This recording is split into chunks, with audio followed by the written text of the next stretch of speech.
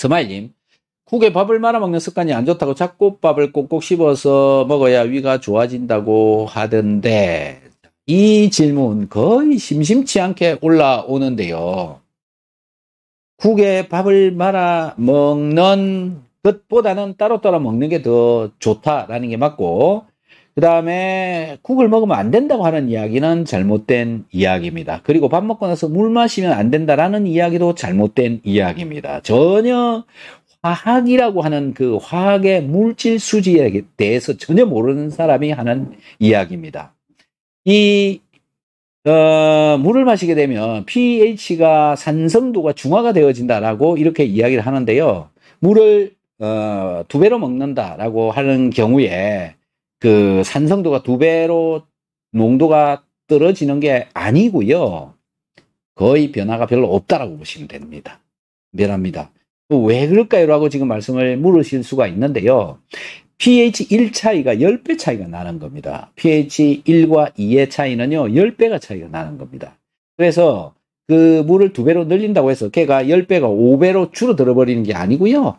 굉장히 적은 양만 변한다. 이렇게 보시면 됩니다. 전혀, 네, 전혀 관련성이 없다. 그 다음에 소화효소제가 어, 희석이 되어진다. 소화효소가 희석이 되어진다. 장에서 분비되어지는 소화효소가 희석이 된다. 이런 얘기를 하는데 그렇지 않습니다. 소화효소는요, 희석이 되어져도 희석이 되어져도 희석이 되어져도 아무리 희석이 되어져도 자기 할 일은 한다 라는 겁니다. 다만 위장 속에요.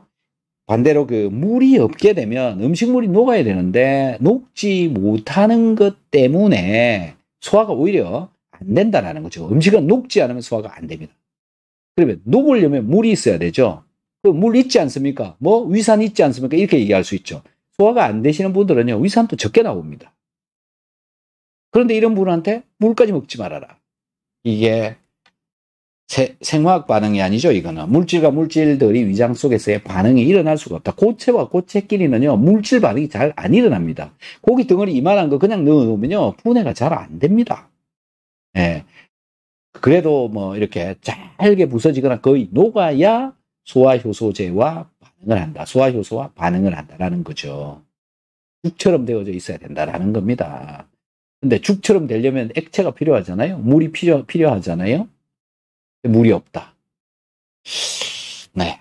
그래서 국물도 먹어야 되고 물도 먹어야 된다라는 거고요. 음, 말아먹는 건 별로 좋지는 않다. 왜 그러냐면 쉽지 않고 그냥 넘겨버리기 때문에 그렇다라는 거죠. 지금 스마일님 하는 이야기는 아마 꼭 꼭 씹어야 되는데 말아먹기 때문에 꼭 꼭 씹지 않는다 이런 얘기 같으시네요. 이제 보니까 제가 대답을 잘못했네요. 죄송합니다. 네. 그래서 어, 말아서 드시는 거 진짜 안 좋습니다. 네, 그렇게 네, 하시지 마시기 바랍니다. 자, 여러분들의 질문을 또 기다리겠습니다.